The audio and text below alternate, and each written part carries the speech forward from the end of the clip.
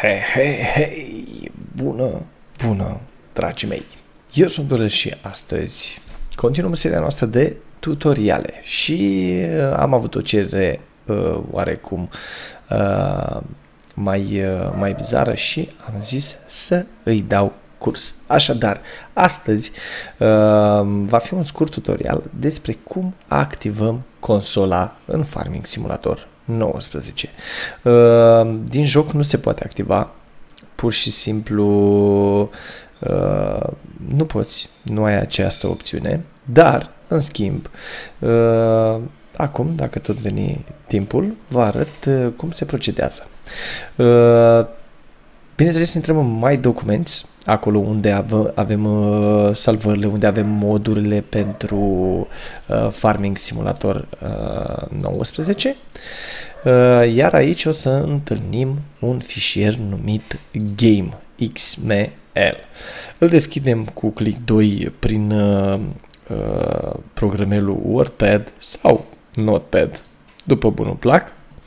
După care uh, dăm până jos aici în, uh, pe pagină, iar în uh, tabul Development sau linia Development Controls, după cum puteți vedea, aici scrie fals, adică că nu e activată consola. Ei bine, nu trebuie decât să ștergeți fals și să scrieți T-R-U-E, adică true.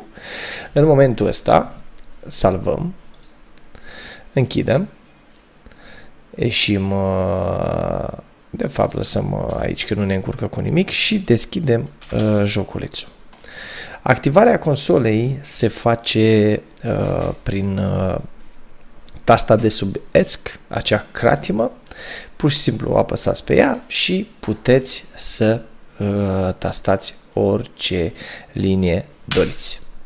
După cum puteți vedea, în momentul ăsta uh, e activă uh, consola.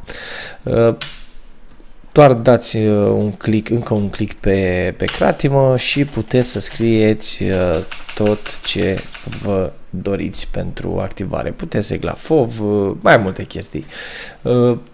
Restul e poveste.